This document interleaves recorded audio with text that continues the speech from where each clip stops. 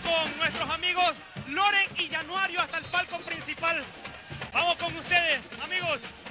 Gracias, Chepe, gracias, Chepe, que está bien agitado, Loren, Juan Carlos. Mientras nosotros podemos observar a las palionas, del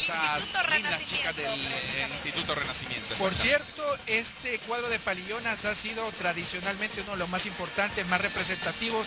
De aquí han ganado un montón de palillonas y no digamos también las pomponeras. Y amplío un poquito más. Me gusta, me gusta eh, el- la banda de guerra que siempre es del deleite de todos los capitalinos que siempre vienen todos los años aquí al Estadio Nacional.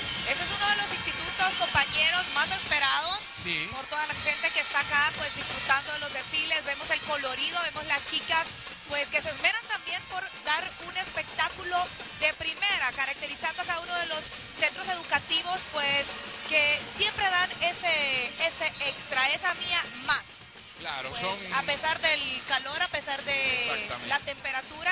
viviendo pues un 15 de septiembre muy emocionante y todos los hondureños pues definitivamente nos sentimos orgullosos de ser catrachos. Y este es el momento más importante porque cuando los institutos ingresan al Estadio Nacional es como culminar ese gran esfuerzo que han realizado durante muchos meses atrás para poder hacer una presentación en este día tan importante.